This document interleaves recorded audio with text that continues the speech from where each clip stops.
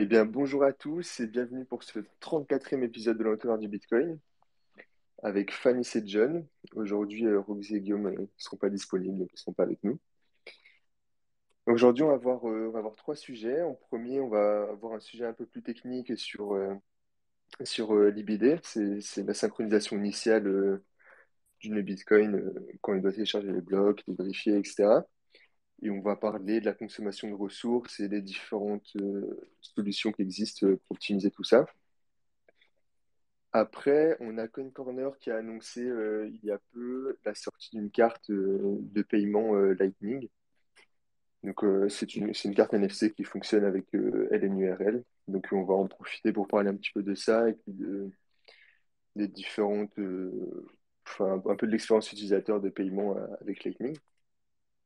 Et enfin, on a un dernier sujet un peu fourre-tout. On a on a un peu les news de la semaine euh, avec notamment euh, la bill que, l'État de New York euh, est en train de faire passer sur l'interdiction de, enfin, du minage de, crypto-monnaies à, à de travail, notamment.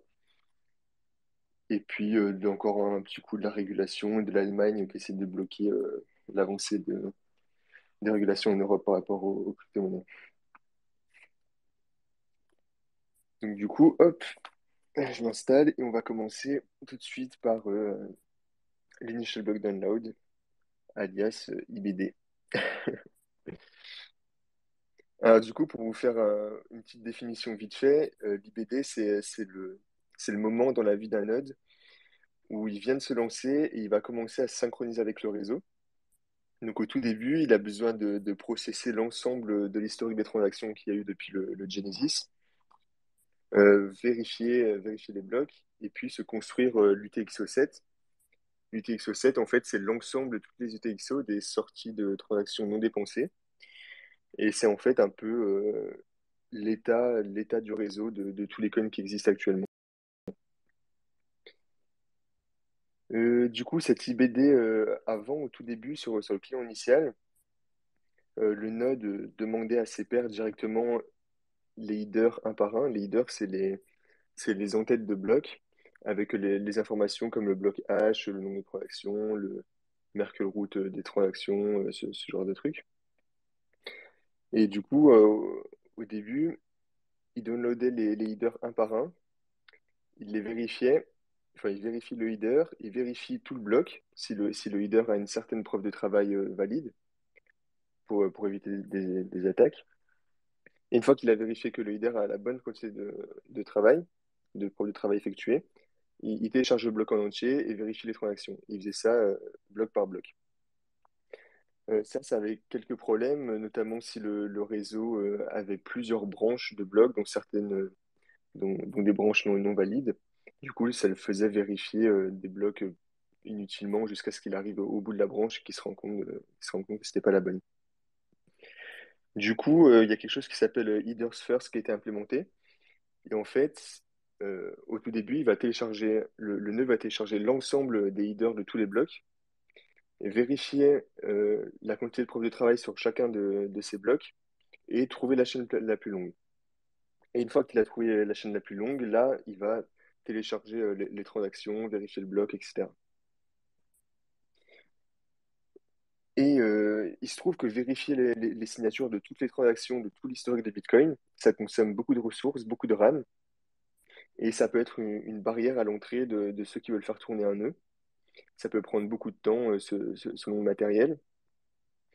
Du coup, il y a quelques années, ils ont, il y a une sorte de raccourci euh, qui a été implémenté, une nouvelle fonctionnalité qui s'appelle Assume Valid, et qui est en fait une méthode de passer la vérification des signatures euh, jusqu'à jusqu'à un certain bloc. En fait, c'est un bloc hash qui est marqué directement dans le code, et si cette option-là est, est, euh, euh, activée, le, le, enfin, le nœud va tout simplement pas vérifier les signatures jusqu'à ce bloc-là. Il va commencer la vérification euh, à ce, bloc. Donc ça, demande une certaine confiance en les développeurs de corps choisissent, euh, qui choisissent euh, le bloc euh, qu'ils mettent dedans. Donc on, on- peut discuter de ça maintenant si, vous voulez, ou alors on, peut en parler euh, juste après, comme, comme tu veux, Fanny. de, cette confiance en les développeurs de corps et que- qu'est-ce que ça implique. Ouais, ouais, on peut en parler maintenant. Euh, j'avais entendu euh, euh, Ruben qui, euh, qui en parlait justement et qui disait un truc intéressant qui est que euh, euh, il n'y a pas que les développeurs en qui tu fais confiance parce que, euh, enfin, donc certes, euh, un peu quand même, mais d'un autre côté, euh, il y a aussi le fait que on parle quand même de vérifier le hash d'un bloc qui est sur la chaîne la plus longue. Et donc, ça veut dire que les mineurs, ils ont continué à miner au-dessus de ce bloc-là euh, pendant a priori un certain temps quand même. Et donc, eux aussi, ils considèrent que c'est bien un bloc valide euh, qui appartient à la chaîne canonique, etc. Donc, en fait, si euh, quelqu'un essaie de tricher, il faudrait qu'il ait à la fois dans sa poche les, les, les développeurs core et aussi ben, suffisamment de mineurs pour que pour réussir à avoir gardé la chaîne euh, pendant autant de temps, ce qui, voilà, ce est relativement compliqué. Donc c'est pour ça que c'est quelque chose qui est considéré aujourd'hui comme relativement safe. Voilà. À la différence de, par exemple, d'autres trucs comme Assume ou TXO, je sais pas si vous voulez en parler, où là, pour le coup, euh, euh, bah, comme les, l'UTXO7 n'est pas dans le- les blocs, euh, les mineurs, euh, ils n'ont pas de moyen de, ça pas de moyen de vérifier que les mineurs sont d'accord plus ou moins avec, euh, avec cette assumption en te basant sur, euh, sur la chaîne la plus longue. Ouais, on, va en parler juste après. Il y a, il y a John qui voulait rajouter un truc sur euh, Assume Valide.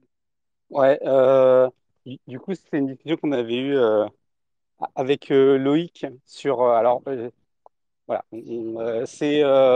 est-ce que un full, enfin, c'est un vrai full node? Est-ce qu'un full node est un vrai full node si il utilise le paramètre par défaut assume valide? Sachant que si on admet qu'un full node, il vérifie pleinement la chaîne et toutes les règles associées, mais qui ne vérifie pas les signatures, est-ce qu'il est un full node ou pas? Bon, je sais, je diverge un petit peu, mais c'est une question presque philosophique du point de vue de Bitcoiner. Ouais, Ouais, mais du coup, t'en penses quoi? Ouais, pardon. Enfin, Vas-y, vas-y. Lounès.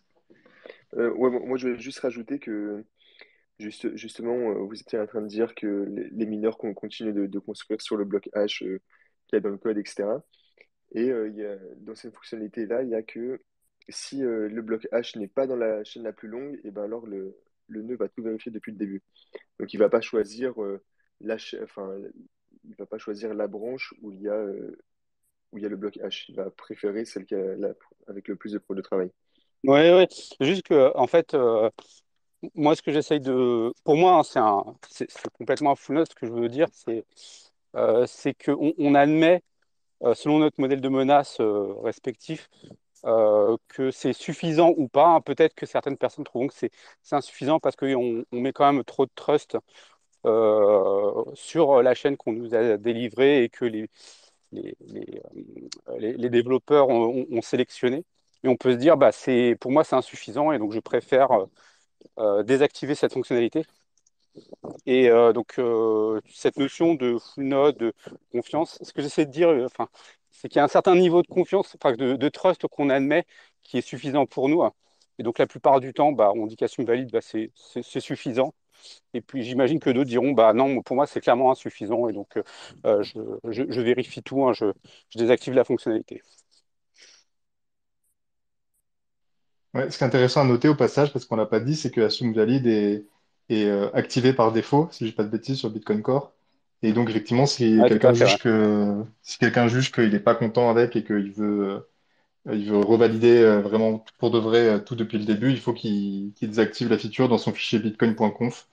Euh, on pourrait avoir un débat à la limite sur est-ce que euh, euh, il fallait l'activer ou désactiver par défaut. Moi, je pense qu'il valait mieux l'activer comme ça a été fait, parce qu'effectivement, bah, a priori, c'est plutôt les, newbies qui veulent sync, Bitcoin rapidement. euh, ils vont pas commencer à aller trifouiller le fichier de conf, je pense. Mais c'est un autre débat, quoi. Non, non, mais après, il n'y a pas, a pas vraiment de, sujet à, à ce niveau-là. Moi, ce que, euh, ce que je trouve c'est bah, du coup, c'est que c'est une fenêtre qui est pas très, euh, connue et donc c'est cool qu'on en parle euh, ici. Euh, et puis après, bah, est-ce que le newbie doit euh, changer les paramètres? Peut-être qu'il va le faire pour pruner son node euh, parce qu'il fait tourner ça sur un laptop et qu'il n'en a pas besoin. Ça, ça se fait avec euh, Bitcoin, Qt, hein, avec une cage à, cocher ou décocher. Donc euh, peut-être qu'il y a des moyens de mitiger ça un petit peu en faisant avec un, peu, un, d'UX, pardon. Mais bon, bref, là, c'est pas non plus extrêmement Ouais. important pour, pour le newbie, quoi. Ok, bah parfait. Et justement, on arrive à Yasum, euh, Assume euh, UTXO, euh, dont, euh, dont Fanny se parlait tout à l'heure. Et en fait, c'est une, c'est une proposal qui a été faite euh, en 2019 pour euh, permettre aux utilisateurs le- de lancer euh, leur nœud encore plus vite. Et euh, en gros, du coup, juste, euh, euh, pour vous rappeler, le seul moyen de construire l'UTXO7, c'est jusqu'à enfin, actuellement, c'est de partir du Genesis block et puis retracer l'ensemble de l'histoire des transactions une à une pour enfin arriver à l'état actuel. Donc euh, l'UTXO7, c'est une, sorte de, de gros ensemble où on a toutes les sorties de transactions qui ne sont pas dépensées. Et dès que euh, une transaction de cet ensemble-là est dépensée, on la retire, euh, on la retire de l'ensemble et on ajoute euh, la nouvelle. Donc du coup, pour le construire, on part du Genesis block et puis euh, on, on monte bloc par bloc, on, ajoute les nouvelles transactions non dépensées, on enlève celles qui sont dépensées, etc. Et du coup, cette proposal, Assume UTXO, il voudrait Le principe, c'est de mettre à mettre à disposition des nœuds une snapshot de l'UTXO7 à un bloc donné. Une, snapshot, en gros, c'est une capture, euh, une capture euh, du set euh, à un bloc donné, tout, simplement. Donc, euh, sauvegarder ça, puis le mettre à disposition des nœuds.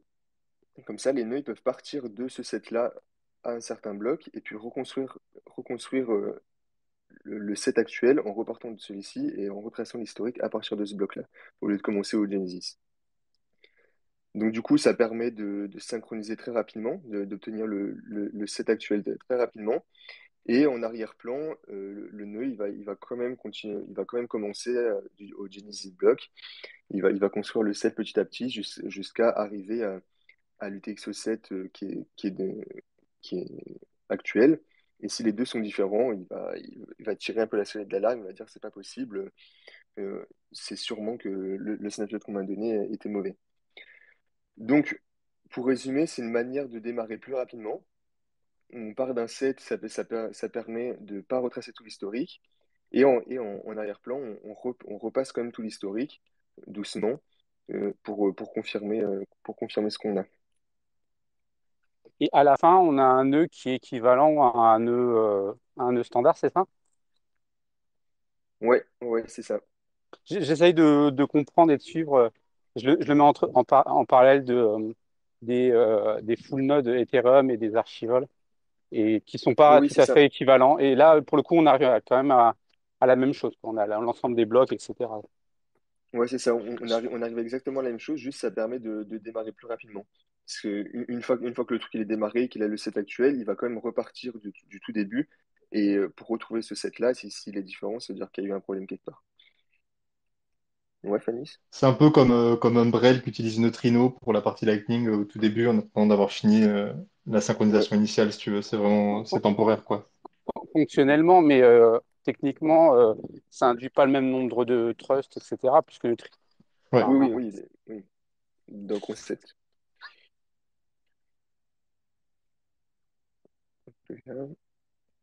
Et mais du, coup, c'est cette affaire. euh, Ouais, John, tu voulais euh, rajouter Non, du, du coup, la question, c'est est-ce que ça a été un peu challengé, euh, ce- ce- cette histoire? Est-ce que, euh, en termes de risque, etc., c'est équi- complètement équivalent? Voilà, est-ce que c'était c'était Ouais, un petit peu discuté? justement, au niveau des, ri- au niveau des risques, j'allais les aborder. Le, le principal risque qu'il y a, c'est que le TXO7, qui, qui- enfin, le, le snapshot qui, qui soit mis à disposition des nœuds, eh ben, il soit, je sais pas si corrompu c'est le bon mot, mais qu'il y ait des mauvaises transactions dedans. Euh, par exemple, que, les développeurs euh, créent des bitcoins de, de nulle part et puis rajoutent euh, les UTXO, euh, les UTXO là-dedans. Et euh, du coup, une transaction comme ça qui serait euh, orpheline, vu que, une transaction qui serait orpheline, elle pourrait pas être vérifiée. Enfin, elle serait, juste, invisible au- au- aux yeux du nœud. Tant que, enfin, comment dire, Euh, en, en gros, c'est pas détectable. Elle peut peut pas tout de suite être minée parce que si, euh, si une transaction dépend cette transaction qui sort de nulle part, et ben forcément, les nœuds, ils vont dire non, c'est pas possible, euh, cette transaction, n'existe pas chez moi, etc. Mais ça serait possible que, que les développeurs fassent ça, laissent cette transaction-là oubliée pendant très longtemps dans, dans, le, dans le snapshot, et une fois qu'une majorité du réseau soit passée à cette snapshot-là, ou alors euh, et, un, et un paramètre valide qui soit au-dessus euh, du, du bloc en question, euh, la transaction serait plus vérifiée du tout et puis elle, elle pourrait passer, euh, elle pourrait passer sans problème. Mais euh, Fanny, t'as, t'as vu une vidéo là-dessus, je pense que je pense que tu pourrais expliquer un peu mieux que moi, si tu veux compléter. J'avoue, j'ai pas, pas que vraiment compris, hein. Je suis désolé, peut-être que je suis le seul idiot. je... C'est moi. Non, mais effectivement, si, le, le cas sur lequel on veut se prémunir, euh, c'est euh, un dev qui, enfin, ou des devs plutôt en l'occurrence, puisque les, les releases sont, sont quand même euh, un peu cross-vérifiées, quoi, mais donc plusieurs devs qui se mettent ensemble pour, pour, pour tricher sur l'UTXO7 qui, qui mettent dans le, le, qui hardcode dans le code de Bitcoin Core. Et donc, toi, avec ton nœud qui, qui utilise euh, Assume UTXO, tu pars de là et tu penses qu'il est valide. Et donc, du coup, ils, arrivent à te faire croire que éventuellement ils ont euh, tant de Bitcoin sur, euh, sur une adresse donnée. Mais euh, ils peuvent pas faire grand-chose d'autre. Enfin, comment dire, une fois qu'ils ont fait ça, ils sont très contents, mais euh, ils peuvent pas les dépenser parce qu'en fait, pour euh, bah, l'écrasante majorité du réseau, a priori, qui, qui bah, a un, historique antérieur et donc savent très bien que ces bitcoins-là n'existent pas, bah, ces bitcoins n'ont aucune existence et donc notamment les mineurs, ils vont jamais accepter une transaction. Donc le, risque, en fait, il devient réel si euh, on a une part trop importante du réseau qui, qui a UTXO, enfin assume UTXO euh, activé et qui du coup utilise les snapshots euh, qui sont donnés par les, les développeurs core. Et si en plus beaucoup de mineurs le font, etc., là on commence effectivement à, être sur une pente glissante. Mais si c'est vraiment juste utilisé au début pour, pour euh, synchroniser rapidement des nouveaux nœuds pour qu'ils puissent euh, assez rapidement recevoir ou envoyer des transactions, euh, et qu'après, effectivement, ils font, euh, ils vérifient que effectivement, ils arrivent bien à aboutir au même UTXO7 euh, de manière indépendante, euh, à mon avis, il n'y a pas trop de, de problème. Mais voilà, il y a ce petit risque-là, mais qui est, euh, qui pas si Ouais, énorme que mais ça. là, en, en fait, euh, alors, un petit peu, mais on avait dit que à, à la fin, on arrivait, une fois qu'on avait fait tout l'IBD avec ce truc-là, euh, on arrivait, euh, on était l'équivalent d'un nœud euh, normal. Donc, ça veut dire que même si à la fin, euh, cette transaction, même pour le même nœud de son point de vue, elle ne devrait plus être valide puisqu'il est censé avoir fait tout l'IBD et donc il est censé Ouais, avoir le même UTXO7 que tout le monde. tout à fait. Le, le risque, ce serait en attendant qu'il ait fait, est-ce que tu arrives, pardon, est-ce que tu arrives à le tromper et à lui envoyer, par exemple, des bitcoins qui en fait n'existent pas ou qui sont pas à toi, en Ah, trichant sur les TXO7 initiales? Par exemple, le, plus gros, ce serait euh, un, marchand pendant l'IBD, en fait, penserait qu'il aurait des transactions euh, parce qu'on lui a filé une mauvaise release. Euh, pas forcément, on parle pas de. On, va prendre le cas le plus pourri, hein, mais un, fournisseur de nœuds tout fait. Tu télécharges et puis le marchand il se, base dessus. Sauf que le fournisseur du nœud tout fait, c'est quelqu'un qui est, malhonnête et qui met des transactions, enfin des, des, coins sur l'adresse du marchand. C'est un exemple vraiment, euh, c'est impraticable en réalité. hein. Je, je prends juste, euh, euh, pendant le, pendant qu'il fait son IBD, en fait, le marchand pense qu'il a des coins et, euh, et donc euh, il pourrait se faire bouser au genre de choses. Ouais, C'est voilà, vraiment un exemple. à la, c'est vraiment un exemple à la con. C'est moi? Non, mais moi, je vois bien Umbrel faire ça, effectivement. Et, Puis me faire attaquer en diffamation. Et, et, euh, effectivement, voilà, ce serait le, le- le risque principal que je vois en tout cas. Mais, euh, mais tu vois, du point de vue du reste du réseau, tu peux pas abuser tous les autres parce que les autres sont bien au courant de où sont vraiment les coins, euh, etc. d'accord. Ok, je, je- je vois le truc. Non, ouais, c'est plutôt pas mal, effectivement. Mais je suis pas sûr que ça permettrait de bootstrap hein, le Lightning plus rapidement du coup.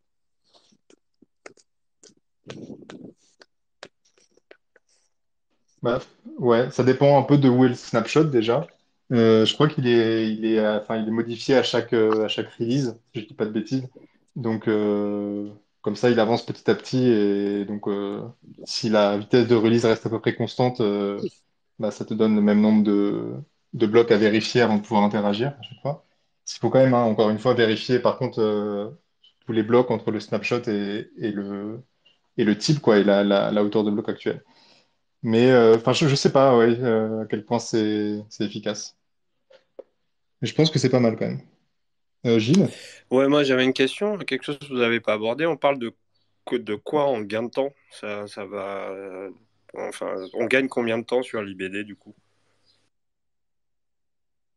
Bah, en fait, j'ai- moi j'ai envie de dire ça dépend vachement aussi du, du hardware sur lequel tu fais tourner. Pour donner un ordre de grandeur, déjà sur l'IBD de base, euh, il y avait Jonas Shelley qui avait réussi à faire une IBD en 5 heures sur un, Mac mini M1 en 2020.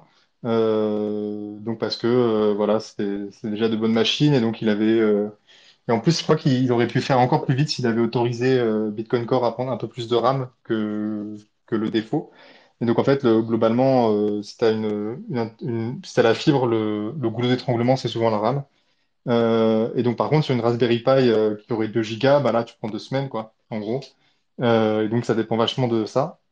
Et ensuite, le, gain de temps, en gros, il est, il est relatif. Comment dire? Imaginons que le snapshot soit pris à 75% de la blockchain actuelle, de la taille, quoi. Donc, il te reste plus que 25% des blocs à valider avant de pouvoir commencer à, recevoir des transactions et en émettre. Euh, et donc, tu gagnes euh, ben, trois quarts du temps. Et après, une fois que tu as fait, euh, que tu as, vérifié les blocs après le snapshot, ben, tu peux recommencer depuis le début pour vérifier que tu t'es pas fait avoir sur le snapshot. Mais au moins, tu peux commencer à interagir direct. mais du coup, c'est quoi le choix qui a été fait sur justement le snapshot? Il est à quel bloc? Enfin, est-ce que est-ce que c'est configurable? Euh, ou c'est dans la dernière version de Core? euh, Il y a un choix qui a été fait? Je, je sais pas, c'est déjà s'il y a déjà eu un choix là-dessus, mais pour euh, Assume Valide, c'est euh, toutes les, les, les releases majeures de, de Core. Donc 20, 21, 22, euh, qui, qui changent le hash. Après, pour, pour le set en, en lui-même, pour Assume UTXO, je suis pas sûr que ce soit déjà défini. Mais dans l'idée, je pense que ce serait la même chose, quoi. Donc, en gros, à chaque Ouais, release ou release majeure, tu as un nouveau snapshot qui est comme ça, il avance au fur et à mesure et, et, tu conserves dans l'idée euh, à peu près la même proportion euh, de blocs à vérifier. Donc, ça prendra quand même euh, de plus en plus de temps à mesure que la chaîne augmente, si, le hardware n'évolue pas. Mais ça sera toujours, a priori, je pense, la même proportion de la blockchain qui sera couverte par le snapshot.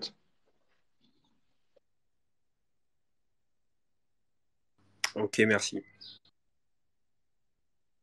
C'est intéressant ce que tu dis, c'est que effectivement l'IBD, euh, en fonction de si on le fait tourner sur un PC euh, standard, même un peu ancien, ou un Raspberry Pi, euh, ça n'a rien à voir. On, passe de quelques jours à, deux, ouais, deux semaines. C'est là qu'on voit où l'enjeu de l'IPD, de l'amélioration, c'est pas, c'est pas tant pour ceux qui font tourner Bitcoin Core sur leur PC standard, mais plutôt pour ceux qui font tourner ça sur des, sur vraiment des, des, des mini-machines. euh, sans parler même de Raspberry Pi, on peut même aller en- vraiment en dessous, des trucs qui se planquent assez facilement. euh. Ouais, c'est, pour le coup, c'est vraiment intéressant. Ouais, l'enjeu, c'est aussi les, les mobiles, en fait, hein, euh, au-delà des Raspberry Pi. C'est aussi, voilà, si tu arrives à faire tourner bien un, nœud Bitcoin et à gérer l'IBD euh, sur un mobile, euh, tout de suite, ça donne plein de full node potentiel en plus, quoi. Ah ouais, non, mais alors là, si tu veux fusiller ton mobile, euh, ouais, si tu veux, mais bon, euh, ça fait plein d'écritures, de machin en termes de. Ouais, je sais pas si c'est. euh, Il n'y a pas, il y a pas Julien dans les auditeurs là? Non, il n'est pas là. Parce que tout à l'heure, il a, il a posté une réponse en disant qu'il travaillait sur un full node euh, LN plus, euh, plus Bitcoin sur, euh, sur des Android euh, et qui se synchronisait assez vite. Puis quoi, tu fais. C'est quoi l'indexeur si tu fais tourner Electress euh, ou, euh. sur, euh, sur ton, sur ton mobile? Comment ça se. Non, mais ouais, je suis pas un grand Il fan de faire, faire il est un de il est en train de dire que, que les BD prend 10 jours sur un smartphone, smartphone entrée de gamme et qu'il il bosse dessus. Mais sur, sur des smartphones qui ont, qui ont des grosses, euh, qui ont des grosses capacités. quoi. Ouais, bah, Android, il se chargera de le, de le killer en tâche de fond, quoi. iOS aussi, hein, d'ailleurs. Bon, eh bien, si, euh, s'il n'y a pas d'autres questions, on peut passer à U3XO. Et euh, je pense que je vais, qui est, enfin, qui est une autre solution d'optimisation comme ça. Je pense que je vais laisser Fanny s'en discuter parce qu'il a eu le temps de, de voir la vidéo et tout. euh. plus que moi. J'ai juste lu un chapitre du livre et Ça marche. j'avoue, j'avoue, c'est vite expliqué. Non, mais t'inquiète, le, le chapitre euh, du livre en question et, et la vidéo disent globalement la même chose. Mais euh, en gros, l'idée, c'est que euh, euh, donc actuellement, voilà, enfin, on a déjà bien décrit, je pense, le, le process de validation des transactions lorsqu'un, lorsqu'on fait l'IBD. Donc en gros, on télécharge tous les blocs avec toutes les transactions et on vérifie à chaque fois tout. Et ce qui est, l'un des gros goulots d'étranglement aujourd'hui, c'est, en fait, il y en a deux. Il y a quand même pas mal de, dans pas mal de configurations, ça peut être quand même les, euh, la bande passante qui est, euh, qui est limitante. Mais un autre goulot d'étranglement potentiel, j'en avais parlé tout à l'heure, ça peut être la, la mémoire RAM, la mémoire vive. Et, euh, et ce goulot d'étranglement, notamment, il pourrait devenir plus important dans le futur à mesure que le UTXO7 augmente. Parce qu'en gros, voilà, ce qu'il faut voir, c'est qu'à chaque fois que, pendant la, vérification, le, le nœud, il doit faire évoluer l'UTXO7. Euh, et donc, idéalement, cet UTXO7, si on veut pouvoir le, le modifier rapidement, le mieux, c'est de le mettre dans la mémoire vive. Et donc, c'est ce que fait Bitcoin Core par défaut. Donc, il le stocke dans la mémoire vive. Et donc, mémoire vive, en gros, euh, aujourd'hui, euh, bah, sur un, vieux Raspberry Pi, ça sera du 2 Go. Et puis, on monte facilement sur les ordi à du 16, du 32 Go, etc. Euh, et le, le problème, c'est que par contre, si à un moment donné, euh, le, l'UTX-7 il dépasse cette taille de 2 Go, et ben, la seule chose que la machine peut faire, c'est s'arrêter, euh, copier, euh, donc vider toute la mémoire vive sur euh, le disque dur, et puis recommencer, et puis repartir là, et comme ça, elle peut recommencer à, charger la mémoire vive. Et donc, c'est super long parce qu'il faut la, faut la vider, donc il y a des écritures disques, etc. Euh, donc là, c'est à ce moment-là qu'on perd beaucoup en, rapidité, et c'est pour ça que ben, les par exemple, les Raspberry Pi à 2 Go, ils prennent, euh, ils prennent aussi longtemps parce que ça arrive de temps en temps que l'UTX-7 il, dépasse ces 2 Go et à ce moment-là, ben, c'est là qu'on perd vraiment pas mal de temps.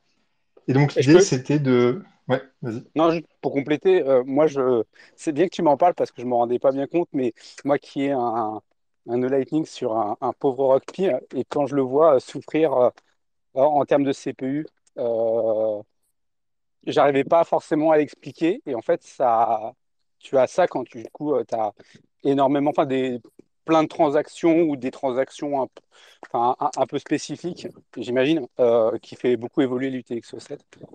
Donc, euh, donc j'arrive à lire, tu vois, j'arrive, euh, j'ai compris un truc aujourd'hui. C'est cool. Il y a au moins un auditeur aujourd'hui qui aura, qui aura compris et appris quelque chose de nouveau. Et, et ouais, et donc du coup, Toc, toc, toc. La solution, et donc, mais quand même, c'est quand même important de stocker euh, l'UTXO7 parce que c'est ce qui nous permet, quand on reçoit une nouvelle transaction, euh, enfin, il faut, en fait, en permanence, ce qu'on fait, c'est qu'on regarde les transactions qui sont créées et on vérifie par rapport à l'UTXO7 qu'elles dépendent bien des bitcoins qui existent. Euh, voilà, ce genre de choses. Et donc, on a besoin de cet UTXO7 et donc, ce qu'essaye de faire Utrixo, donc c'est U, tri comme arbre et XO, donc ça fait comme UTXO, mais pas exactement pareil. Euh, l'idée, c'est de représenter le, tout l'UTXO7, mais sous la forme d'un simple hash, qui en fait est le hash d'un arbre de Merkel. Et donc, en gros, ce qu'on fait, c'est que donc, un de Merkel, c'est un moyen de représenter euh, euh, des données d'une certaine manière qui permet, en ayant un certain nombre de données, mais assez petit, de vérifier leur intégrité par rapport à la racine de l'arbre, qui est juste un, hash.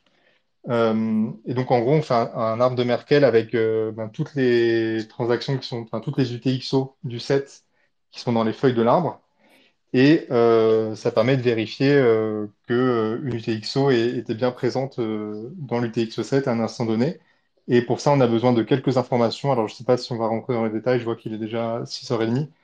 Mais en gros, les, les changements que ça requérait pour un nœud qui utilise euh, pour fonctionner, c'est que euh, actuellement, euh, quand euh, quelqu'un fait une transaction sur Bitcoin, ce qu'il fait, c'est qu'il vous envoie sa transaction et puis vous, vous regardez dans votre UTXO7 si l'UTXO qu'il essaie de dépenser, elle existe. Et ben là, ça serait un peu l'inverse, c'est-à-dire que la personne qui fait la transaction, elle enverrait sa transaction et puis elle enverrait avec quelques informations dont vous, vous avez besoin pour vérifier dans l'arbre de mer, pour vérifier que l'UTXO qu'il dépense, elle existe bien euh, dans l'UTXO7, parce qu'en fait, vous avez besoin de quelques infos en plus, euh, qui sont en gros d'autres UTXO qui, existent, pour vérifier que, que tout ça existe euh, en utilisant, en juste la racine de l'arbre de Merkel. Voilà, en gros, des, besoins bien plus ténus en termes de, de stockage en RAM. Donc, on, parle de passer de, aujourd'hui, euh, voilà, comme on le disait, ça arrive régulièrement que l'UTXO7 dépasse les 2 gigas, par exemple. Euh, là, on est euh, en dessous du kilo-octet. Donc, rien à voir, quoi. On est sur des ordres de grandeur différents. Et aujourd'hui, en fait, comme je l'ai dit, c'est pas vraiment ça qui pose problème. Mais la réflexion, c'est de se dire si demain, chaque être humain sur Terre, il doit pouvoir avoir deux UTXO à lui, et ben là, la taille de l'UTXO7, euh, dépasse euh, le Tera, euh, teraoctet. Et donc, du coup, bah là, on, aurait besoin quand même d'avoir un truc un peu plus compact parce qu'il y a assez peu de chances pour que euh, les RAM fassent des teraoctets, je pense, quoique. Bounès? Ouais, du coup, maintenant, on aurait des preuves attachées aux, transactions qui sont envoyées. Les vieux nœuds, ceux qui n'ont pas fait l'update, ils ignoreront juste ces preuves. Et, euh, et les nouveaux nœuds, euh, on peut, il me semble que, dans la spécification, ils disent que les, nouveaux nœuds, quand ils reçoivent une transaction qui a, qui a pas de preuve, ils, cherchent euh, dans enfin, les, nœuds qui ont, le set en entier, ils cherchent dans leur set et puis ils rajoutent la preuve de cette transaction-là avant de la, diffuser au, au pair. Comme ça, les pairs qui n'ont qui ont pas d'UTXO 7, eux, peuvent, peuvent vérifier. Donc ça, ça permet aux nœuds qui émettent des transactions qui ne sont pas forcément à jour, qui n'utilisent pas forcément ça, de pouvoir émettre des transactions que tout le monde, puisse les vérifier. Je sais pas si j'étais très clair. Ouais, c'est ça. En gros, pour que le, le truc En gros, l'idée, c'est d'avoir les deux qui coexistent. Et donc, éventuellement, tu aurais des nouveaux nœuds qui utilisent du TRIXO et donc eux, ont besoin pour vérifier la validité d'une transaction qu'on leur communique aussi euh, euh, quelques données en plus qui leur permettent de vérifier, euh, enfin, donc quelques UTXO en plus, quoi, pour vérifier la validité de la preuve. Euh, et euh, effectivement, il y aurait des nœuds qui, en, gros, seraient des vieux nœuds qui ont l'intégralité de l'UTXO7, mais qui, euh, en plus de ça, font la partie aussi UTXO. Et donc, quand on leur envoie une transaction, mais sans leur filer les, infos supplémentaires qui sont utiles aux nœuds qui, sont, qui utilisent UTXO, ben, ils, attacheraient eux-mêmes volontairement les, les, infos supplémentaires avant de propager la transaction. Comme ça, les autres nœuds qui, eux, sont uniquement UTXO, ils pourraient quand même vérifier euh, la transaction. Et donc, bon, c'est voilà, c'est un peu, c'est là où moi je trouve c'est un peu. euh, il faut, il faut espérer qu'il y ait suffisamment de personnes qui, prennent la peine de, de faire tourner ces nœuds-là. Euh, alors après, en vrai, je pense que le, le compute que ça ajoute est pas énorme, donc donc c'est pas impossible, mais mais à voir quoi. Ah, Alors attends, il y a des trucs là. Ça, euh, ça nécessite un fork, ce truc-là, Euh, puisqu'en fait, ça non, modifie un non. peu la. Enfin, la... tu, tu dis qu'il y a la preuve qui est attachée à la transaction. J'ai j'ai cru comprendre ça. On- euh, En qui est fait, attaché au message, c'est pas, pas vraiment l'attraction. C'est, ouais, Euh, durant, donc, ça durant la modifie pro- le... durant la propagation, quoi. voilà, c'est ça. Ouais, Et alors, euh, l'autre truc, c'est. Euh, tu as un nœud UTXO là, qui, se, qui fait son IBD. Euh, Ouais. donc, il a quand même son UTXO 7. Enfin, comment. euh, Euh, un nœud tout clean, là, il se, hop, tu lui connectes un, un wallet. Comment il fait pour s'en sortir, en fait? Vu qu'à la base, enfin, je sais, enfin, ou alors j'ai pas compris. euh, ben, c'est-à-dire, je, moi, je suis pas sûr d'avoir compris ta question. Bon, laisse tom- laisse tomber. Euh, et là, oui, le truc, c'est que en fait, tu dis qu'il faut quand même qu'il y ait un certain nombre de nœuds qui ont euh, l'UTXO 7 complet. Euh, mais si tu admets que tout le monde, euh, enfin, sur Terre aura euh, à l'avenir euh, au moins deux UTXO, c'est-à-dire que ces nœuds, ils devront quand même exister avec euh, l'ensemble du UTXO 7. Ouais. Ben, en gros, là, là, il y a deux, deux al- En fait, l'alternative pour euh, s'assurer que, enfin, si, si un jour on a besoin du TRIXO, en fait, c'est ça vraiment la question. C'est est-ce qu'on en a besoin un jour? Si oui, euh, bah, il faut lui- faut l'utiliser. Après, alors, euh, il y a plein d'autres manières de faire, mais euh, et, et dans le cas du TRIXO, euh, donc il y a deux possibilités. Soit on a ces nœuds qui servent de relais un peu, et donc qui ont du- d'un côté tout l'UTXO7 et qui en plus s'occupent d'augmenter euh, dans les messages euh, qui sont propagés là, en en peer-to-peer d'augmenter euh, les, messages qui seraient démunis des, qui n'auraient pas les, petites infos supplémentaires pour vérifier l'arbre de Merkel. On a dit ajouter ce qu'il faut pour vérifier, comme ça les, leurs copains, euh, les notes nœuds qui ont, qui sont des nouveaux nœuds qui ont juste eu Trixo, ils pourraient vérifier.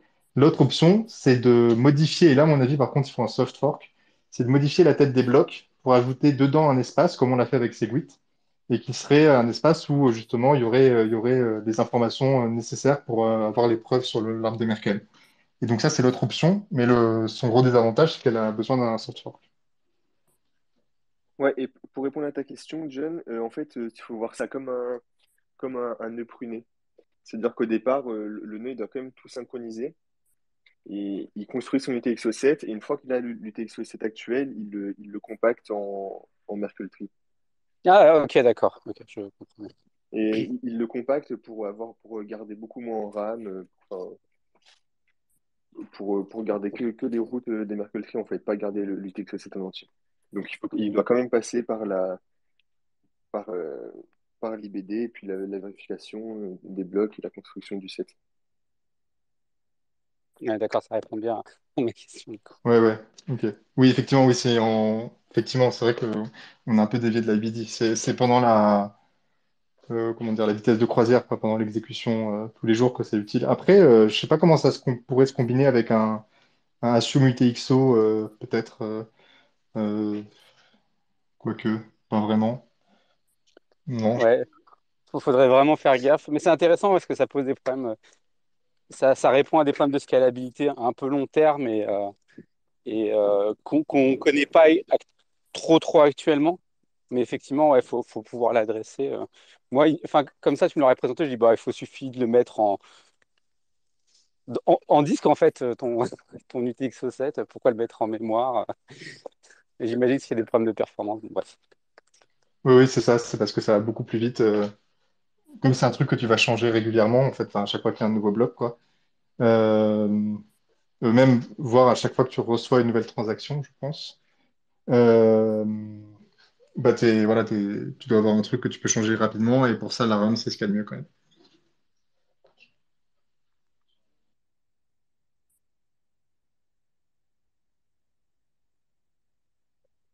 Ok, bah c'est super. Est-ce que quelqu'un a une question par hasard? On va prendre, on va prendre les questions. Hop, Loïc, parfait, magnifique. Ouais, Loïc, bienvenue, bonsoir. Ouais, salut à tous. Euh, je réfléchissais là rapidement à cette histoire du TXO7 et cette histoire d'augmentation euh, exponentielle des UTXO. Et chaque fois qu'on crée un nouvel UTXO, euh, en moyenne, c'est qu'on en a consommé un autre avant. Donc il s'enlève de, de l'UTXO7, non? Ou ça le fait tout de même augmenter? C'est surtout quand le, le nombre de plus tu as de personnes sur le réseau et plus tu as du TXO à contrôler euh, ouais. différent en fait. C'est Après, ça, plutôt, euh, c'est plutôt ça en fait. après, ça dépend des transactions. Il y a des transactions avec plein d'inputs, peu d'output et l'inverse. Donc, Ouais, euh, mais de- c'est élastique en fait, l'UTXO7. en moyenne, si tu regardes en moyenne, je pense que tu dois être à peu près euh, kiff-kiff au niveau des consommations et des créations.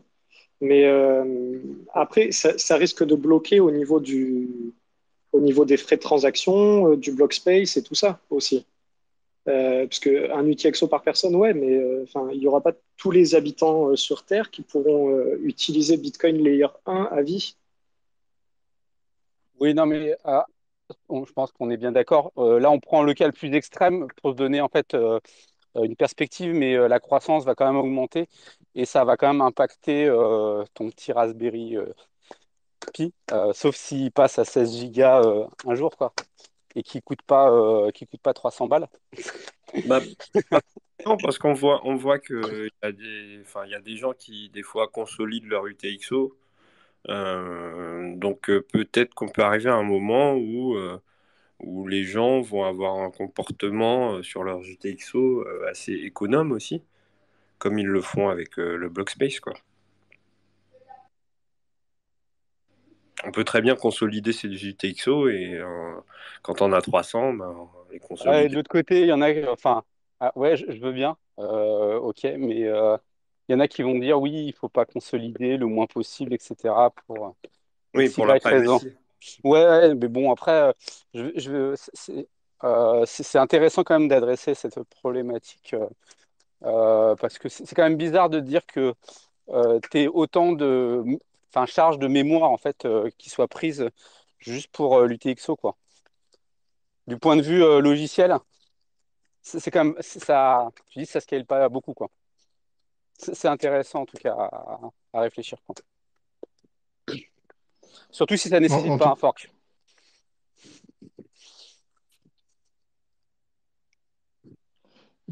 clairement, enfin, en tout cas, ce qui est sûr, c'est qu'effectivement, le, le nombre d'UTXO, d'un côté, il va augmenter à mesure, enfin, plus il y a d'users et plus il y a d'UTXO, parce que euh, chaque user, il va avoir ses propres UTXO. Alors après, il faut voir si, euh, enfin, là, on avait discuté, je crois, il y a maintenant euh, quelques mois, euh, d'histoire d'UTXO partagé entre plusieurs personnes. euh. Et donc ça, effectivement, euh, ben, c'est le genre de truc qui, euh, si ça vient à se se populariser, à être beaucoup utilisé, euh, bah, ça fait, ça réduit quand même pas mal la taille de l'UTX-7. Et puis il y a aussi, euh, je crois que c'est Gilles qui en a parlé, effectivement, euh, les gens ils font de plus en plus attention parce que les frais augmentent, euh, etc. Bon là aujourd'hui en ce moment pas vraiment, mais globalement l'idée c'est que les blogs vont être pleins et les frais seront plus grands et donc tu fais pas des transactions pour faire n'importe quoi. Mais aujourd'hui l'UTXO7, il y a quand même une espèce de, plancher qu'on n'arrivera pas à enfoncer parce qu'il y a toutes les UTXO perdues, il y a tous les hop return voilà, qui, sont, prennent quand même de la place dans l'UTXO7 à vie. Alors, ils prennent pas la place de la data parce que le- de ça, la data, euh, tu l'enlèves, mais je- UTXO7, non, le- les opérateurs ne sont pas dans l'UTXO7. ah ouais? Ouais, ouais, ils sont, parce qu'ils sont pas dépensables. Ils sont pas... oui. Le hop return, c'est c'est pas dépensable, donc c'est pas dans le set. Bon, top. Bon, il y avait quand même, en tout cas, lui, ouais. Bon, bah, su- super, génial. Mais on- il reste quand même les, les UTXO euh, perdus euh, de tous les mecs qui bougeront jamais, et du coup, enfin, ou presque jamais, euh, et qui, du coup, font une espèce de palier à la taille de l'UTXO7, en dessous de la, en dessous duquel on pourra pas vraiment descendre.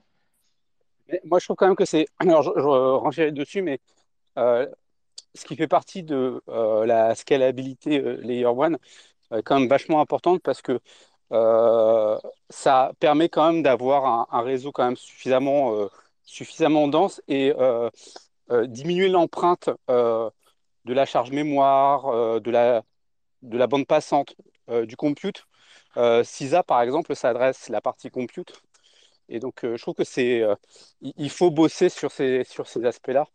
Et c'est aussi pour ça que, il y en a qui pensent que CISA arrivera jamais sur le réseau. Et moi, je pense qu'il arrivera parce que ça rentre dans la logique de diminuer l'empreinte de Bitcoin sur le, enfin, sur l'ensemble de l'écosystème euh, euh, des, des, nœuds.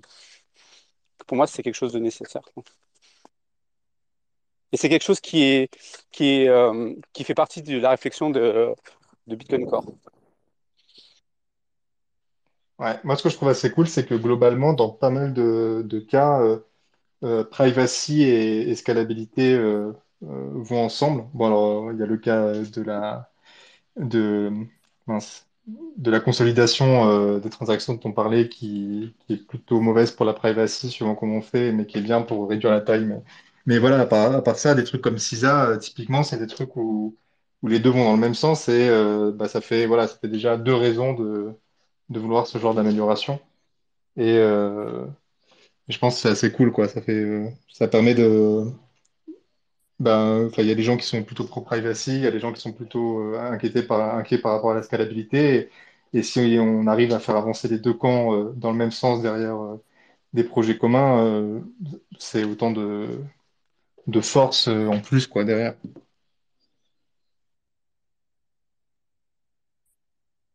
Ok, ben on va pouvoir conclure ce, ce Voilà. sujet parce qu'on ça fait 50 minutes déjà presque. Et juste, je voulais juste rajouter un, dernier truc par rapport au, au soft fork.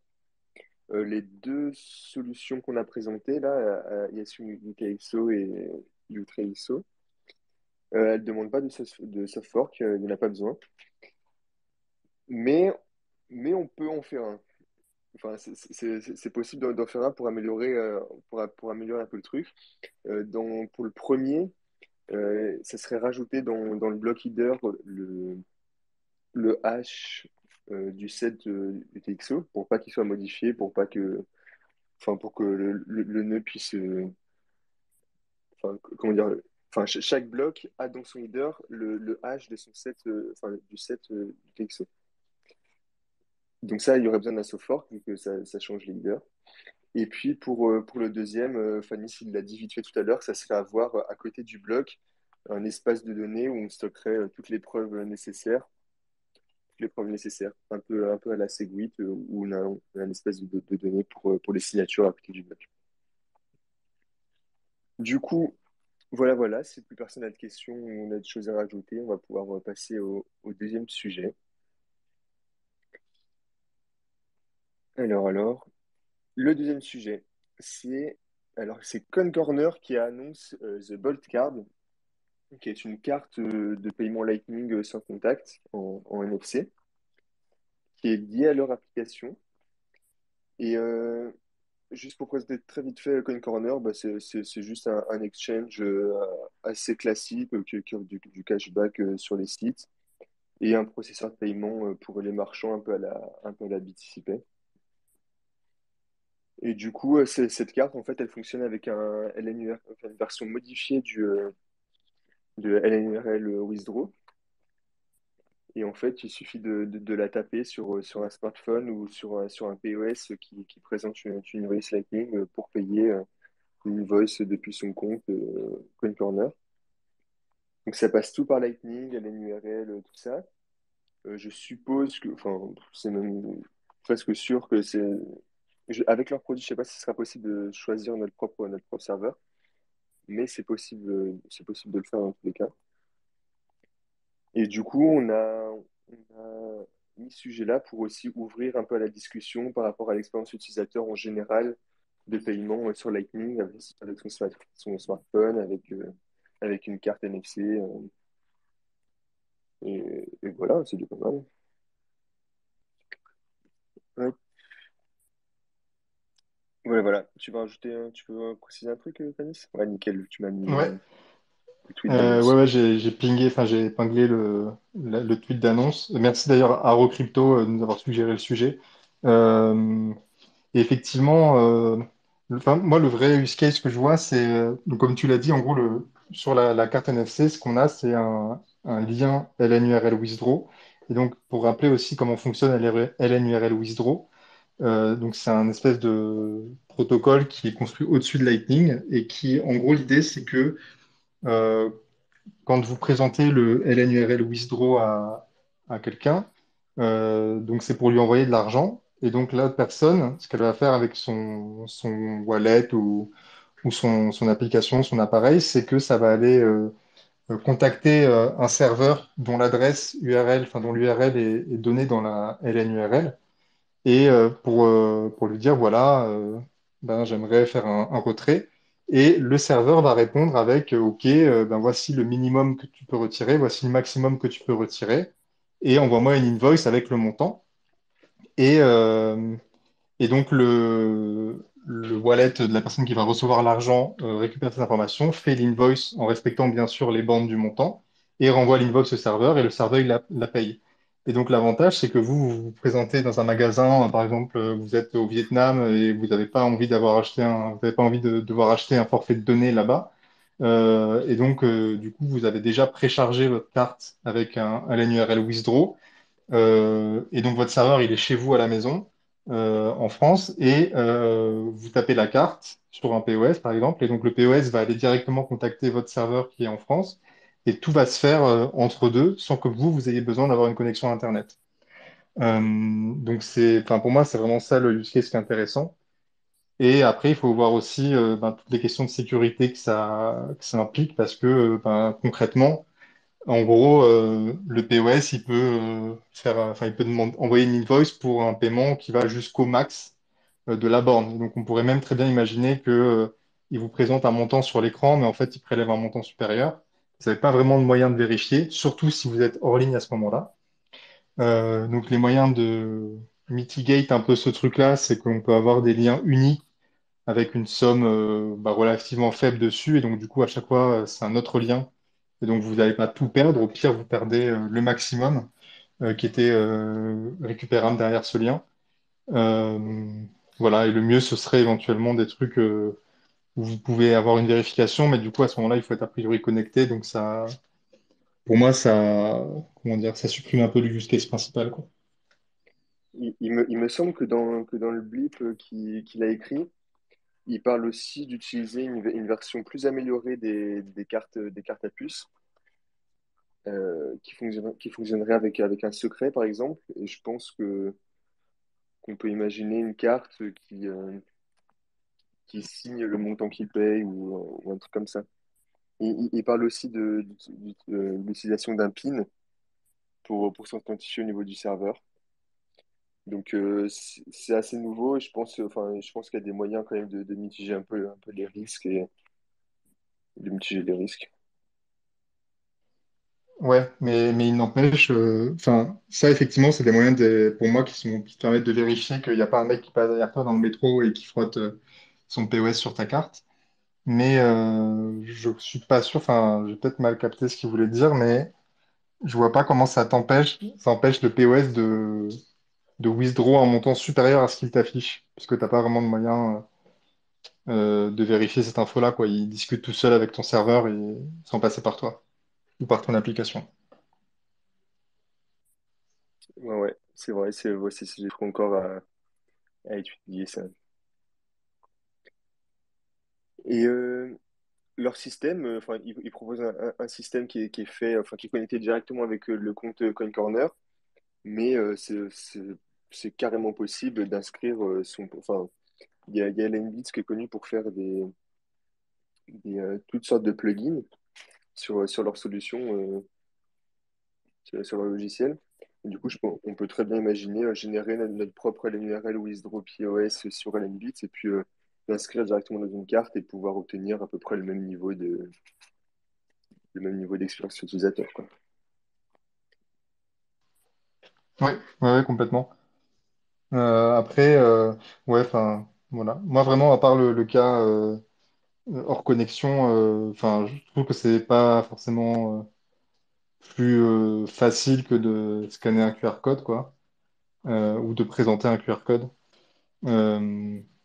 Et d'ailleurs, on pourrait très bien avoir le même truc en présentant un QR code qui correspond au LNURL withdraw euh, et, euh, et à, à- soit à la- à l'application ou au, POS directement de la personne en face. Et on peut être hors ligne quand même si on a déjà enregistré le QR code. Bah ouais, je suis, carrément d'accord avec toi euh, sur ce point. Parce que surtout que de nos jours, tout le monde se balade avec son, son téléphone dans sa poche. Donc, euh, je vois pas trop le problème des, des QR codes, enfin, la méthode actuelle, quoi. Et encore plus que si, le but c'est d'avoir un truc hors connexion, euh, comme tu dis, il suffit de sauvegarder la LNURL sur son téléphone en QR code. Vous pouvez très bien imaginer avoir une fonction dans son wallet euh, avec la, LNURL directement, au lieu de, passer par une carte comme ça. Après, c'est un produit qu'ils vendent, donc euh, ça doit intéresser, des gens quand même d'avoir leur, leur carte. Ça fait un peu, un peu neuf, tu vois, je sais pas, je sais pas, un peu tendance, je sais pas comment expliquer. Ouais, puis je pense qu'on réfléchit un peu comme des mecs euh, qui ont déjà l'habitude euh, d'utiliser euh, Bitcoin et Lightning, et donc on est habitué au QR code. Et c'est vrai que culturellement, il y a pas mal de pays où ils sont habitués aussi, enfin voilà, on a, à la Chine, etc., où ils utilisent déjà des applications de paiement équivalentes, enfin bon, qui n'ont rien de décentralisé, etc., mais qui passent par des QR codes. Alors que c'est vrai que je pense en, en Occident, aux États-Unis, les gens ils sont quand même peut-être plus habitués euh, au paiement par carte bancaire. Et c'est vrai que peut-être pour de l'onboarding, tout simplement, ça peut euh, faciliter les choses si en fait tu as le même geste que tu utilisais pour payer avec euh, ta Visa euh, bah, tu le fais pour payer directement en, Lightning. Et, d'ailleurs, c'est ça qui est très stylé aussi, c'est que pendant, euh, ça fait trois ans que on- à chaque fois qu'il y a une annonce de carte, euh, euh, ouvrez les guillemets, crypto, euh, bah, en fait, c'est juste euh, une putain de carte qui te permet de convertir tes cryptos euh, en euros et de les dépenser avec Visa. Et là, quand même, on a enfin un truc qui fait euh, le, bah, le truc qui est euh, intéressant, quoi, c'est-à-dire faire l'inverse. Euh, et donc utiliser directement euh, Lightning plutôt que de- d'aller se se re-empaler euh, sur les réseaux centralisés, quoi. Donc rien que pour ça, c'est cool. Ouais, ouais. Ouais, Après, moi je leur pense que solution, par... ouais, ouais, pardon, vas-y, non, non, mais euh, juste pour euh, abonder là-dessus, c'est que euh, c'est c'est qu'une question euh, du X. Bon, il y a des petites choses à améliorer euh, du point de vue euh, du point de vue hein. Euh, je pense que ça peut s'adresser euh, suffisamment correctement. Mais après, je pense que c'est vraiment une question d'UX en fait. Dans cette histoire, euh, nous, ça nous va bien. On, s'est habitué et on s'est auto-persuadé que les QR codes, c'était cool. Je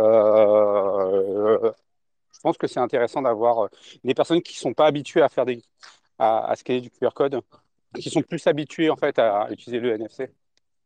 Et donc, ça, alors, je sais pas, voilà, ça peut être intéressant. En tout cas, c'est un use case euh, qui doit se confronter à son, à son marché. Donc, il faut, faut voir un petit peu et voir évoluer.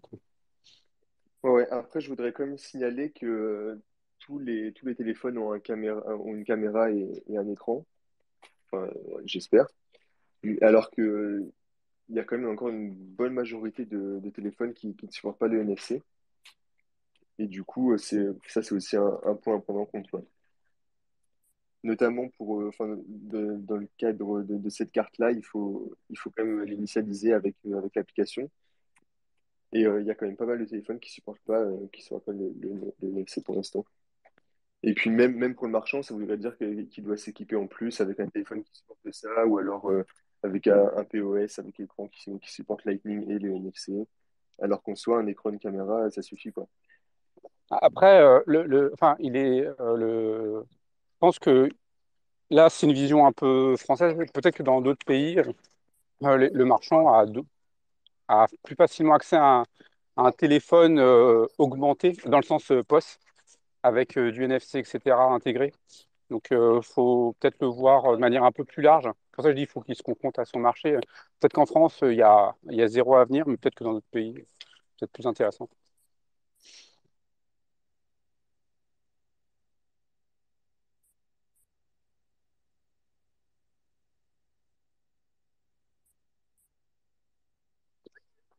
J'ai tout coupé là? Qu'est-ce qui se passe? Non, non. J'attendais de voir quelle prendre la parole. Euh, si si quelqu'un a des questions sur, euh, sur le X des, des paiements Lightning ou a quelque chose à redire ou des suggestions, tout ça, euh, n'hésitez pas. C'est vrai que nous, on s'est on s'est vachement habitué au, au QR code. C'est devenu assez naturel pour nous. Mais je sais pas, euh, je sais pas ce qu'on pense euh, le reste du monde, quoi. On va bientôt le tester. Là, il faut que je vois. Euh, Gritoshi, il en a pris euh, de ses cartes. Euh, puis il m'en a réservé une. Donc, le temps de prendre une bière avec lui et le récupérer, quoi. Après, ouais, il n'y a pas forcément besoin de passer par, euh, par euh, Coin Corner. hein. Tu achètes n'importe quelle carte NFC et puis tu t'écris dessus euh, ta LN URL et ça fonctionne comme ça. Si Non, mais attends, dessus, il y a le, il y a, il y a, il y a le il y a le logo, il y a le wizard dedans. Euh, Magic Internet Money, euh, s'il te plaît. Voilà, hein, respect. Ok, bah, bah, si c'est tout bon, ça fait déjà une heure. On va passer au dernier sujet qui, qui sera encore plus rapide. On va, on va, on va juste parler vite fait de, de quelques news de la semaine. euh, de quelques news de la semaine. Du coup, euh, allez-y, Fanny ou John, euh, concernant, euh, concernant, on peut commencer par New York, par exemple, la, la ville de New York. Ouais, euh, pour, pour être transparent par rapport au- à la conférence de rédaction qui a précédé le podcast, euh, on, s'est demandé si on voulait en faire un sujet ou pas. Et euh, on a tous trouvé que euh, ben, ça nous saoulait un peu de... Enfin, là, ça faisait plusieurs semaines où régulièrement, il y avait un sujet régulation et, puis au bout d'un moment, bah, c'est toujours la même chose qu'ils font. Ils essaient d'interdire, donc c'est pas très intéressant. Mais donc effectivement, il y a New York, donc l'État de New York, donc c'est... euh, enfin voilà, c'est pas juste la ville, c'est l'État de New York qui a, euh, enfin, je crois que c'est les, sénateurs qui ont adopté, qui ont validé une loi pour, euh, ce que j'ai compris de, du, de la couverture médiatique, c'est interdire certaines exploitations de minage qui tournent sur des, sur des, énergies fossiles, mais euh, je sais pas à quel point c'est clairement défini dans le texte de loi. J'ai essayé de le trouver, mais j'ai pas réussi. Et, euh, et voilà, effectivement, donc il y avait un article de CNBC qui était pas mal et qui donnait pas vraiment euh, dans le deuxième tiers de, l'article la parole à des mineurs américains et qui disait que c'était débile parce qu'à New York, euh, bah, il y a déjà quand même, c'est déjà majoritairement du, du renouvelable ou du nucléaire, donc c'est un peu, c'est pas le, enfin voilà, globalement, si tu veux, si tu te soucies vraiment de l'environnement et que tu veux réduire les émissions globales. Euh, c'est pas en déplaçant les mineurs des endroits où ils minent déjà sur de l'énergie euh, avec des émissions relativement faibles que, euh, que tu fais vraiment avancer les choses. Euh, mais voilà. Et puis encore une fois, voilà, des politiciens croient qu'ils sont bien placés pour te dire ce que tu peux faire ou ce que tu peux pas faire avec ton énergie et, tes, tes cycles CPU. Voilà. Donc je sais pas, n'hésitez pas si vous avez envie de, réagir par rapport à ça. John, je vois que tu te démutes. Euh, alors moi, j'ai pas très bien compris parce que euh, j'avais survolé l'article euh, CNBC et euh, qui avait été retweeté par Nick Carter. Et alors là où j'ai pas bien pigé, c'est que ça parlait d'interdiction de chat 256. Enfin, j'ai pas très bien compris si quelqu'un, même parmi les auditeurs, a un peu plus dit que le truc. Je suis assez preneur parce que l'article n'avait pas l'air de correspondre à ce que disait Nick Carter, ou, alors j'ai mal pigé quoi. Non. J'ai cherché aussi par rapport à ça parce que je me suis posé exactement la même question. Euh, ma compréhension, c'est que bah, Nick Carter, euh, enfin comment dire, c'est pas exactement ce que dit l'article, mais euh, voilà, c'est une manière de présenter la chose peut-être un peu plus frappante. Mais en vrai, c'est pas ça, quoi. Ils interdisent pas chat 256 dans le texte. C'est juste une manière de le dire. Ouais, il, il me il me semble qu'ils interdisent plus précisément les, le minage des crypto-monnaies à, à preuve de travail plutôt que, que l'algorithme en lui-même. D'accord, parce que du coup, euh, moi j'avais vu cet article suite à un autre, enfin un, retweet de retweet de, euh, sur l'interdiction du chat 256 et qui me semblait être euh, lui-même être euh, pas la bonne arme pour, enfin du point de vue euh, législateur, hein. Ça semble pas être la bonne arme pour interdire le, le- minage euh, de Bitcoin en l'occurrence. Donc, euh, mais d'un autre côté, je pense que dans la tête un peu malade de euh, certains députés slash eurodéputés, sénateurs, ce qu'on veut, des personnes qui, le jour où ils découvriront un peu le fonctionnement un peu plus en détail de, des algorithmes à utiliser, je doute pas qu'ils vous proposeront l'interdiction de, de, de chat 256.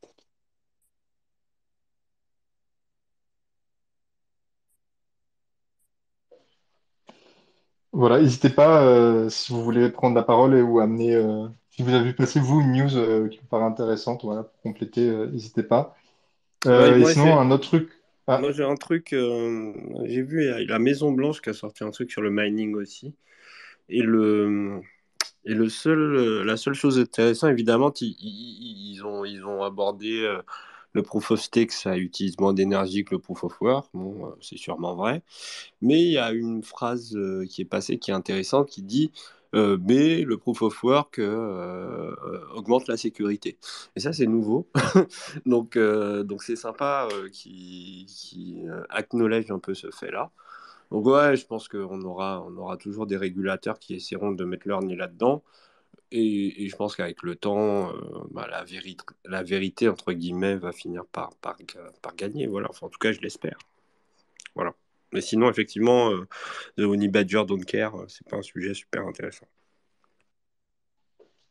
ouais, clairement. Mais effectivement, ouais, on a l'impression que, comment dire, euh, le, le spectre politique commence à être légèrement plus éduqué. Alors après, ça n'empêche pas de passer des lois un peu débiles, mais euh, dans la communication, en tout cas, euh, ça s'améliore déjà. C'est déjà ça. ouais. John? C'est absolument pas homogène. Non, euh, pas, pas pour aujourd'hui, mais un, un autre débat, ou en tout cas sur lequel il faudra individuellement s'outiller, c'est c'est le nouveau débat enfin, qu'il y a entre Bol 12 et LNURL.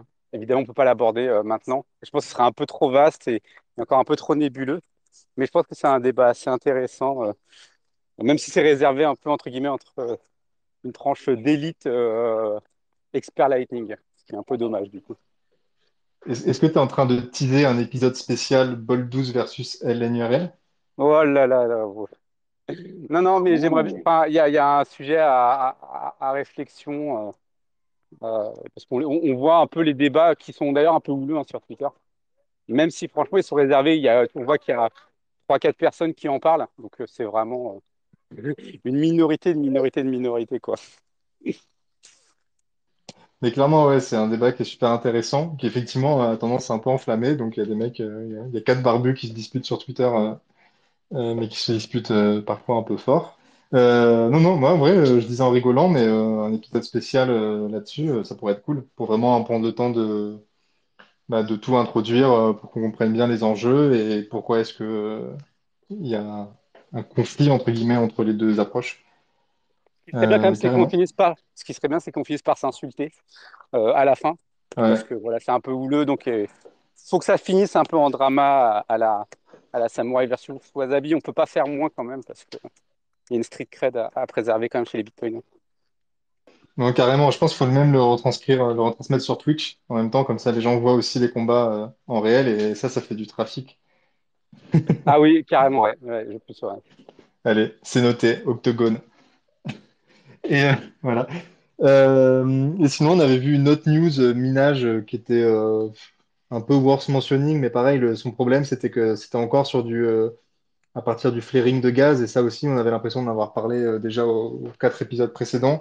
Mais c'est euh, c'est Oman, donc euh, Oman, pardon, euh, donc un- une région du, Moyen-Orient qui, euh, qui investit dans Crusoe Energy, qui sont, est une entreprise américaine qui utilise le, flaring gas, donc les, gaz des torchères sur les champs pétroliers, pour faire, donc eux disent voilà, du cloud computing, mais donc entre autres du minage de Bitcoin. Et donc c'est vraiment présenté comme étant une mesure qui permet de, de euh, réduire l'impact environnemental, voilà, parce qu'effectivement, plutôt que de laisser brûler du gaz, ben, on, on en fait quelque chose. Euh, voilà, c'était juste, on avait vu passer la news et trouvé intéressante, mais pas digne euh, d'une section à part entière. Donc elle est là. Et il y avait autre chose, Younes, ou je crois qu'on a fait le tour? Il y avait aussi, euh, j'ai pas du tout regardé, mais il y avait aussi que l'Allemagne en ce moment essaie de bloquer un petit peu les régulations en Europe sur, sur les crypto-monnaies. Ah j'ai oui, pas, ouais, j'ai ouais. pas vu, pas vu à quel point, mais il semble qu'il, me semble qu'ils sont en train de se positionner un petit peu pour, euh, enfin contre, contre autant de, autant de régulations par rapport à ça. Ouais, effectivement, euh, bah, il y a bitcoin.fr, je crois, qui avait relayé. Donc, euh, je sais pas qui est derrière le, le micro, mais si vous voulez intervenir, n'hésitez pas. Et, ou quelqu'un d'autre, hein, d'ailleurs. Mais effectivement, ouais, moi, moi, ça m'a un peu surpris, hein, parce que je pensais pas que ce serait, que ça viendrait d'Allemagne. Mais effectivement, euh, je crois que c'est au ministère des Finances où ils ont, ils ont un peu essayé de, de freiner sur certaines parties qui sont, euh, un peu trop intrusives. J'ai bien compris, c'était ça le, l'enjeu, quoi. C'était vraiment une question de privacy. Euh, parce qu'effectivement, c'était ce que beaucoup de, de gens avaient dénoncé déjà au moment euh, des premières discussions, hein, que, en gros, on allait commencer à, euh, à vraiment euh, avoir un fichage financier euh, des utilisateurs euh, de crypto euh, qui était sans commune mesure avec ce qu'on fait euh, sur n'importe quel autre euh, moyen d'échange. Je voilà, donc chose, effectivement, hein, je dirais soutien à Aurore Laluc envers ces foutus crypto gros euh, allemands. Encore une fois, une attaque envers sa personne. clairement. Moi, j'ai entendu, j'ai entendu un, un ministre allemand qui, qui l'a traité de Kartoffel, et donc c'est vraiment pas gentil et ça montre qu'on peut pas discuter avec ces gens-là. Exactement. Bon, bah, ce que je vois, on arrive à la fin? Et du coup, C'est clairement la fin là. ouais. Je voulais en profiter pour, euh, pour dire aux auditeurs que si jamais vous voyez un sujet que vous voulez qu'on traite ou qu'on check, voir si c'est si c'est de le traiter, n'hésitez pas à nous mentionner, euh, à mentionner nos comptes euh, sous, sous les tweets ou nous les envoyer directement. Euh, il y a quelques semaines, ça arrive qu'on soit un peu à court de sujet, on ne va pas forcément tout passer, etc. Donc surtout, n'hésitez pas à nous, proposer, euh, nous proposer des idées de sujets qu'on voit quelque chose de, potentiellement intéressant euh, passer. Du coup, bah voilà, on arrive à la fin. Je remercie Fanny, John, Gilles, Loïc, Guillaume, même s'il n'est pas là, il, est un peu bourré, et, Roxy. Du coup, je vous invite à, à vous abonner si ce n'est pas encore fait, mettre la cloche euh, laisser un petit commentaire. Et puis, je vous dis, euh, je vous dis à la semaine prochaine. Bonne soirée à tous. Bisous. Bisous. Merci d'avoir écouté la vidéo. Pour nous suivre sur les réseaux, c'est Découvre Bitcoin. Un grand merci aux Patreon, aux personnes qui font des donations ou qui nous soutiennent via le e-commerce pour qu'on puisse continuer à fournir des formations, tutoriels et interviews gratuites en trois langues. Pour plus d'informations sur Bitcoin ou pour n'importe quelle autre question, rendez-vous directement sur www.découvrebitcoin.com. On se retrouve pour la prochaine vidéo. À bientôt les amis.